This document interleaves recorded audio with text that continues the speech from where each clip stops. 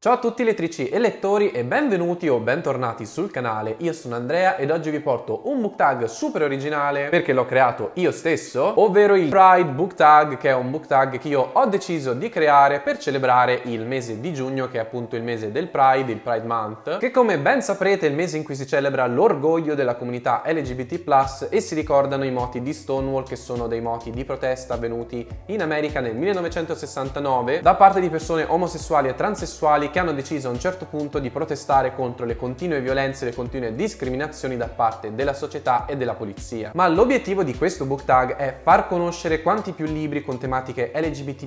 possibile a quante più persone possibile, quindi invece che focalizzarsi più sulle nostre impressioni sui libri che abbiamo letto o su magari cosa ci ricordano certi libri, vuole concentrarsi più su quali titoli potreste leggere, quali titoli potrebbero interessarvi per approcciarvi o per approfondire questo tema. Ma cominciamo subito con le domande. La prima domanda domanda chiede primo libro con tematiche LGBT+, letto in assoluto e per rispondere a questa domanda io vi porto Carry On di Rainbow Rowell, che è il primo libro con tematiche LGBT+, che io ho letto dopo aver aperto il canale e in realtà non ricordo se prima avevo letto qualche altro libro con queste tematiche perché non tenevo traccia delle letture che facevo e leggevo molto più sporadicamente rispetto ad adesso. E Carry On è un libro fantasy per ragazzi che io ho trovato molto carino tutto sommato, mi sono piaciuti i personaggi, la storia un po' meno perché è un po' una scoppiazzatura di Harry Potter, ma semplicemente perché il libro nasce come fanfiction all'interno di un altro libro dell'autrice che è Fangirl, in cui appunto c'è questa fanfiction su questa saga eh, che ricorda molto quella di Harry Potter appunto. E la componente LGBT all'interno del libro è data dal fatto che i nostri due protagonisti intraprenderanno una relazione di tipo omosessuale fra di loro e quindi dovranno sconfiggere il cattivo, lo faranno insieme, insomma è una storia molto carina che a me è piaciuta e quindi ve la consiglio. Seconda domanda che chiede un libro LGBT che consigli come primo approccio a tema e come risposta vi porto ovviamente questo libro è gay di Juno Dawson. Vi ho già fatto tra l'altro la recensione di questo libro che vi lascio qui sopra nelle schede se volete saperne di più, ma fondamentalmente questo libro è gay è una specie di guida, anche se poi non così completa e non super super accurata, alla comunità LGBT+,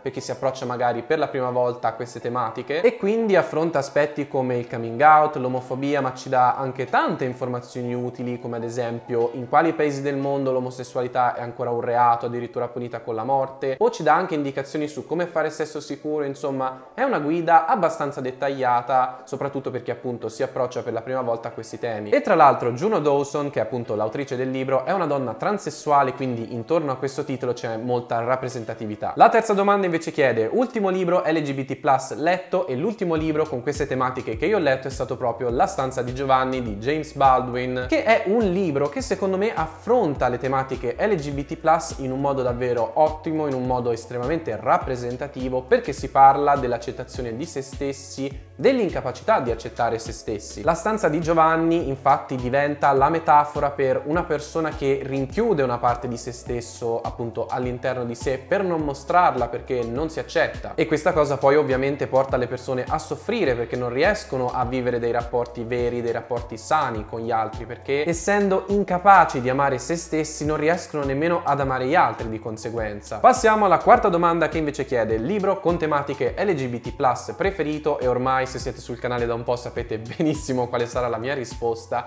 perché la risposta giusta è sempre Aristotele e Dante scoprono i segreti dell'universo di Benjamin Alire Science. Non mi dilungherò troppo sul libro perché vi ho già fatto una recensione che magari vi lascio qui sopra nelle schede, però Aristotele e Dante. Aristotele e Dante, ragazzi, è il mio libro non solo il mio libro con tematiche LGBT preferito di sempre, ma il mio libro preferito in assoluto. Non solo perché io personalmente mi sono riconosciuto sia nella storia sia nei due protagonisti della storia, ma anche perché secondo me il libro è scritto in un modo talmente profondo ma allo stesso tempo così delicato che è davvero impossibile non innamorarsi dello stile di scrittura di Benjamin Alire Science e della sua storia. Quindi se non l'avete ancora capito leggete Aristotele e Dante perché c'è in tutte le lingue del mondo, quindi sceglietene una e buttatevi su quel libro. Domanda numero 5 che chiede personaggio LGBT preferito e io per rispondere a questa domanda vi porto Damen del principe prigioniero. Secondo me Damen infatti è un personaggio estremamente positivo perché rimane sempre fedele ai suoi ideali, rimane sempre coerente con quello in cui crede, nonostante all'interno della storia si debba trovare ad affrontare situazioni davvero estreme e cambia all'interno della storia, però sempre restando fedele a chi è veramente, perché non solo è un figone alto due metri, è anche buono, è anche gentile, è anche patatino e quindi come si fa a non amare Damen? Ditemelo. Damen, se hai bisogno, sai dove trovarmi.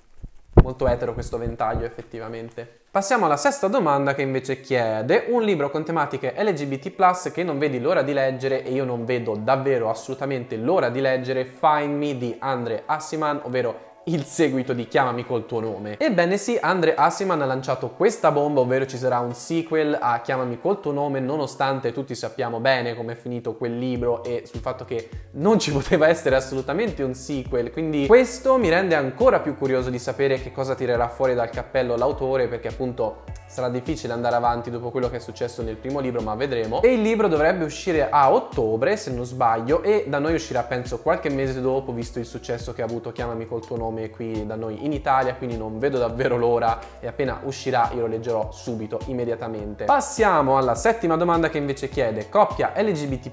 preferita e per rispondervi vi porto un'altra volta il principe prigioniero perché infatti la mia coppia preferita di sempre sono sicuramente Damen e Laurent. In realtà ci sono diverse coppie coppie all'interno dei vari libri che ho letto che mi piacciono molto, però diciamo che Damen e Laurent sono la coppia di cui ho visto di più all'interno di un libro, perché vediamo infatti quando si incontrano per la prima volta, come cresce il loro rapporto, ma soprattutto li vediamo anche in scene molto intime come le scene di sesso, che secondo me aiutano a rendere più realistico un rapporto, almeno nel caso del principe prigioniero che è una specie di fanfiction e in generale perché secondo me sono due personaggi molto belli e soprattutto sono uno l'opposto dell'altro, quindi uno porta sempre all'altro ciò di cui l'altro ha bisogno. Passiamo poi alla domanda Shady Beach di questo book tag che chiede un libro che non ha trattato bene la tematica LGBT+, e come risposta vi porto ovviamente L'amore migliora la vita di Angelo Longoni. Vi ho già parlato di questo libro sul canale che è un libro che a me non è piaciuto per niente, io ho dato una stella ed erano secoli, penso di aver dato una stella soltanto a due libri in tutta la mia carriera da booktuber, però secondo me questo libro era di un trash, ma di, di, quel trash proprio brutto brutto perché doveva analizzare il, la reazione da parte di due coppie di genitori alla scoperta dell'omosessualità dei loro figli. E invece è finito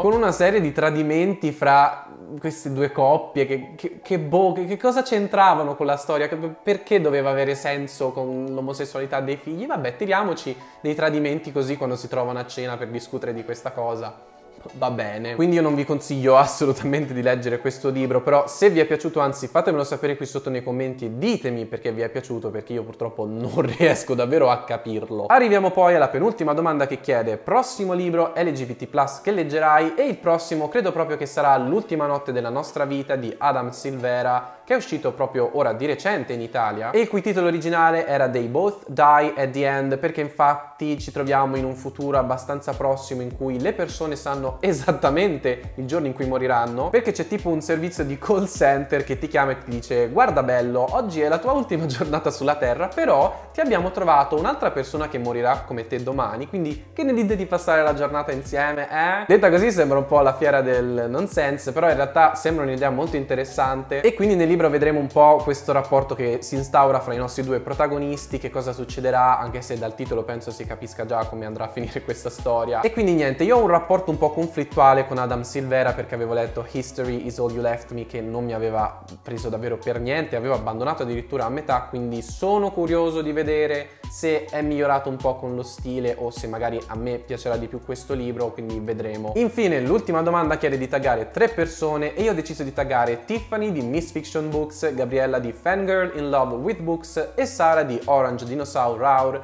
perché sono davvero davvero curioso di sapere che cosa risponderanno alle domande. Ma in realtà a me farebbe tantissimo piacere se chiunque di voi ha un canale, un blog, un profilo Instagram riproponesse questo book tag perché secondo me può essere davvero utile per far conoscere quanto quanti più titoli con tematiche LGBT possibili appunto a tante persone perché non si parla ancora abbastanza di tanti temi al giorno d'oggi e quindi questo magari può essere un modo per portarli alla luce. Quindi se il video vi è piaciuto ricordatevi di lasciare un mi piace qui sotto e magari nei commenti fatemi sapere che cosa avreste risposto voi alle domande, quali sono i vostri libri LGBT preferiti, quali invece non vi sono piaciuti, insomma fatemi sapere qui sotto nei commenti perché in questo caso più che mai mi piacerebbe davvero sapere la vostra opinione. Detto questo, io vi ringrazio per essere stati con me ancora una volta, buon Pride Month e noi come sempre ci rivediamo nel prossimo video.